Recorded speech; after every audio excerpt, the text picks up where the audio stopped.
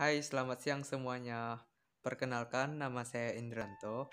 Saya berasal dari jurusan Matematika, Fakultas Teknik, Universitas Bangka Belitung, tahun 2020. Di video ini, saya akan menjelaskan bagaimana cara memplot direction field dan menyelesaikan aplikasi persamaan diferensial. Soal pertama, gambarkan medan arah dari dy per dx sama dengan y kali dalam kurung 7 kurang y per 12. Pertama-tama mari kita buka Maple. Lalu klik restart jika kalian baru menggunakannya itu untuk mereset semua variabel-variabel yang sebelumnya yang kalian gunakan lalu kita panggil DE toolsnya. With DE tools.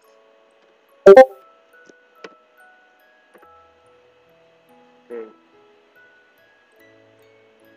Sekarang kita akan tuliskan persamaan diferensial yang tadi. Terus kita asing assign ke variabel misalkan variabel first persamaan kita ketikkan if y. Koma x. Sama dengan y dikali dalam kurung 7 kurang y per 12 dalam kurung X adalah X sebagai variabel independen dan itu tergantung pada X-nya. Kita tekan Enter. Baik, sekarang kita akan mencoba menggambarnya dengan field plot. D, field plot. Ketikkan variabel yang tadi, first, lalu Y, dan X kita misalkan dari min 3 sampai 10 dan Y dari min 6 sampai 12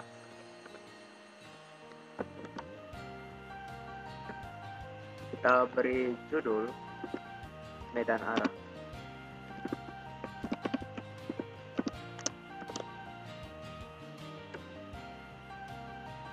Nah, ini grafik dari plot medan arahnya. Kita akan mengartikan apa itu medan arah. Misalkan X dan Y-nya 1 dan 1, maka dy per dx-nya adalah setengah. Cukup dimasukkan ke dalam persamaan ini. Maka artinya di titik 1,1, nilai kemiringan ini adalah setengah. Kalau X-nya di yang lain, kita lihat lagi. Ini kan gak ada input yang X, berarti D per DX-nya akan tetap sama, yaitu setengah juga. Misalkan X-nya 1, Y-nya 3, maka D per DX-nya 1, berarti di titik 1,3 nilainya kemiringannya adalah satu. Misalkan lagi X 1 Y itu 12 D per DX adalah min 5 Berarti di titik 1,12 kemiringannya adalah minus 5 Nah misalkan Y nya di antara 0 dan 7 misalkan y nya di sini di 4 berarti ada suatu solusi khusus yang melalui titik ini. Solusi khusus ini bisa didapatkan dengan cara menghubungkan tanda panah ini. Jadi solusi khususnya kayak gini.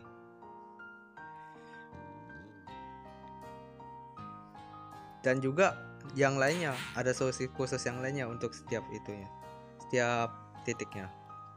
Misalkan yang di sini 7,2 misalkan. Nah berarti solusi khususnya yang ini. Apa yang terjadi kalau y nya itu 7 nanti y kalau y nya 7 ininya jadi 0 sehingga kemiringannya akan 0 jadi kayak gini.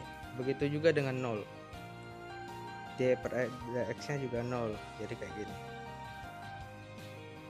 Kalau misalkan selain itu eh, dari 7 ke atas jadi solusi khususnya misalkan 10,4 di sini. Berarti solusi khususnya kayak gini nanti. Nah gitu juga misalkan 2, min 2 nanti juga mengikuti tanda panahnya oke itu saja. Jadi medan arah itu adalah kumpulan-kumpulan gradien. Kumpulan-kumpulan gradien itu bisa menggambarkan solusi-solusi yang ada di persamaan ini. Soal nomor 2 suatu kelompok bakteri diketahui berkembang dengan laju yang proporsional dengan jumlah yang ada. Setelah 2 jam, terdapat 2000 bakteri dan setelah 5 jam menjadi 8000 bakteri. Carilah ekspresi matematika perkiraan jumlah bakteri tersebut. Perkirakan jumlah awal bakteri dan jumlah bakteri setelah 8 jam. Kita misalkan dx per dt itu adalah laju dari pertumbuhan bakteri tersebut itu adalah jumlah bakteri, T adalah waktu. Kita ketahui laju itu proporsional dengan jumlah bakteri. Berarti dx per dt sama dengan k kali x. Kita pindahkan ke ruas ini. dx per dt sama dengan min kx sama dengan 0. kita bisa selesaikan dengan faktor integrasi yaitu E pangkat min KT kita kalikan ke semuanya. Berarti E pangkat min KT kali dx per dt min E pangkat min KT kali kx sama dengan 0 ruas ini kita bisa tuliskan sebagai turunan dari E pangkat min kx E kt kali x sama dengan 0 kalau turunan ini sama dengan 0 berarti ininya itu adalah suatu konstanta. Nah dapatlah E pangkat min KT kali X sama dengan C. Kita pindahkan X nya ke sebelah kiri dan semuanya ke sebelah kanan jadi X fungsi X ini adalah C dikali E pangkat KT pada nilai awal x0 sama dengan c kali e pangkat k t nya dimasukin 0 jadi e pangkat 0 itu satu kan? C kali satu itu c. Jadi x0 itu c. Sehingga c ini kita ganti jadi x0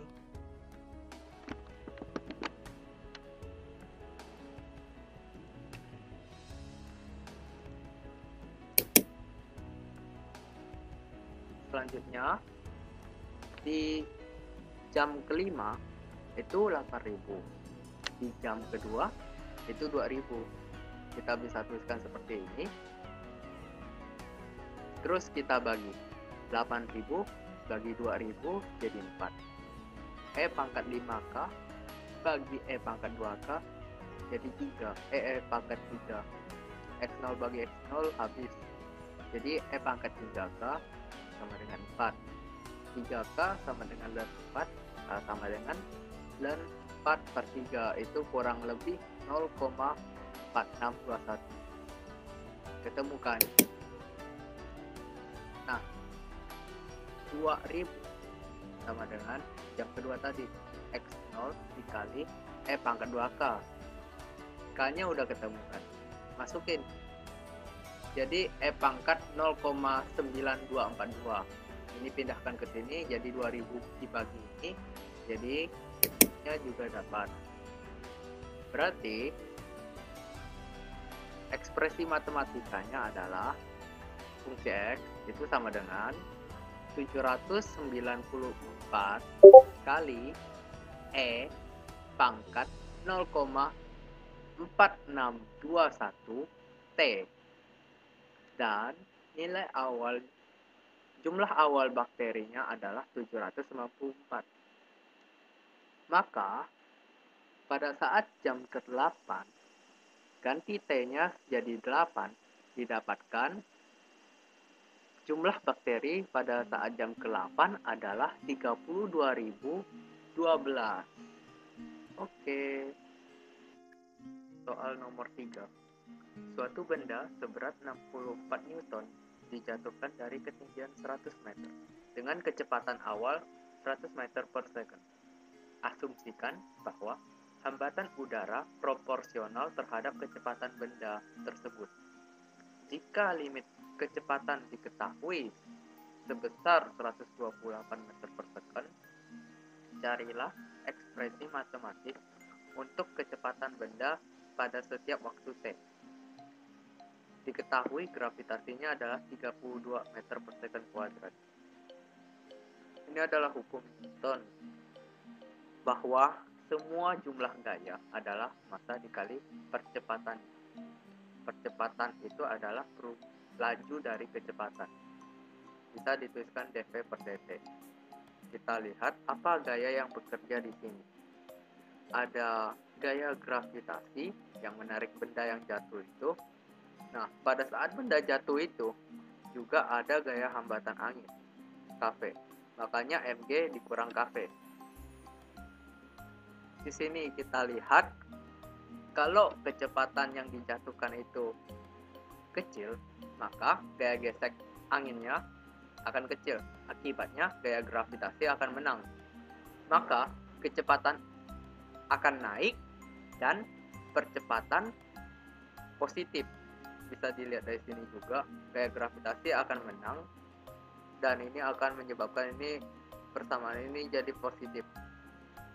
Nah, kalau kuda yang dilempar bola itu sama dengan kecepatan terminal, maka ini pasti jadi nol ke, percepatannya nol akibatnya kecepatannya konstan tetap di setiap detik itu kalau yang bola dilempar itu cepat sekali akibatnya kafe ini hambatan angin ini akan kuat sekali sehingga gaya gravitasi kalah sehingga percepatannya akan negatif dan eh, kecepatannya akan menurun mendekati kecepatan terminal. Baik.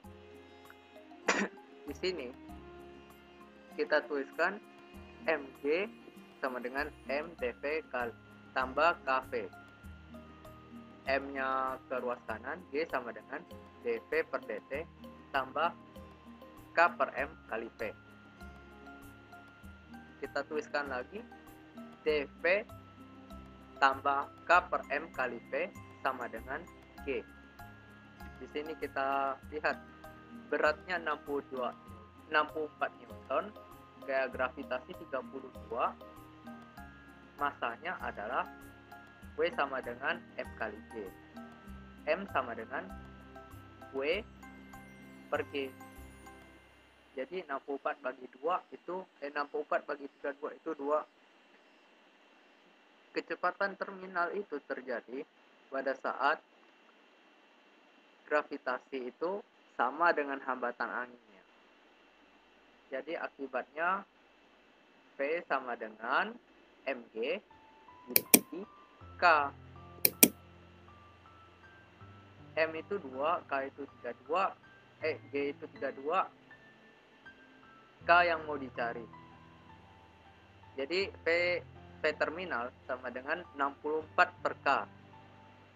K itu 64 per P terminal.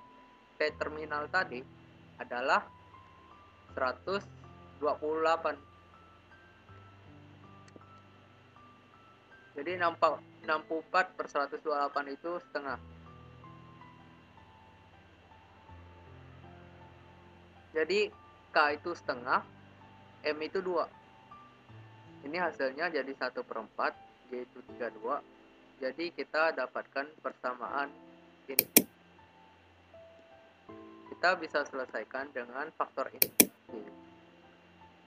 Faktor integrasinya E pangkat seperempat T. Kita selesaikan, jadi kita bisa tuliskan ruas kiri jadi turunan dari E pangkat seperempat T kali T. Sama dengan 32 kali E pangkat seperempat T. Karena ini suatu turunan hasilnya ini. Maka dalam ini itu adalah integral dari ini. Kita integralkan dari ini.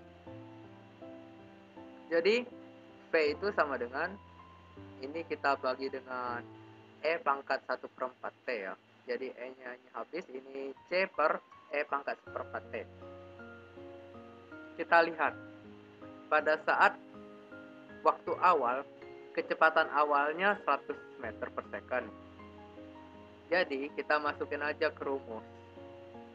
128 tambah C per E pangkat seperempat kali 0 sama dengan 100 ini kan 1 Akibatnya C per 1. Jadi C. 108 tambah C sama dengan 100. C sama dengan min 28. Jadi ekspresinya bisa kita tuliskan sebagai PT sama dengan 128 min 28 per E pangkat seperempat T. Nah, kita bisa lihat ini. Kalau misalkan kecepatannya dilempar di bawah kecepatan terminal. Akibatnya C ini pasti negatif kan. Nah, misalkan T ini dari 0 semakin meningkat, maka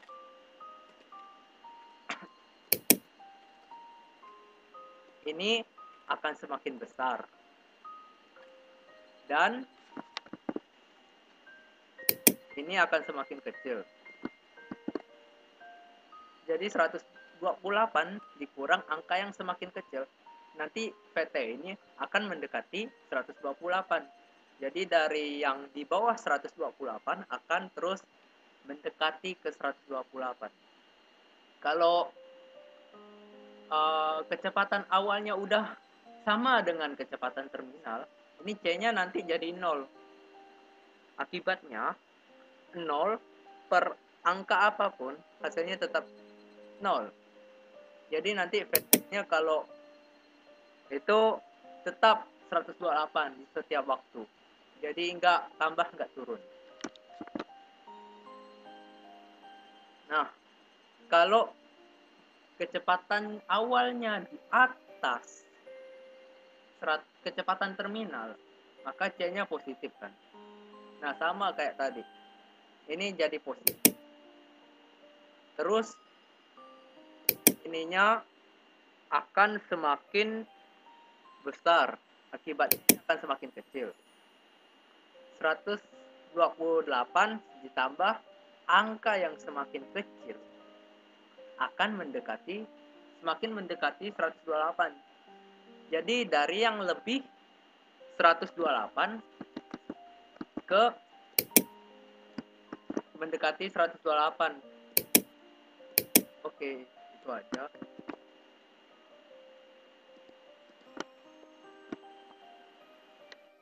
Oke, sampai jumpa teman-teman. Sekian dan terima kasih.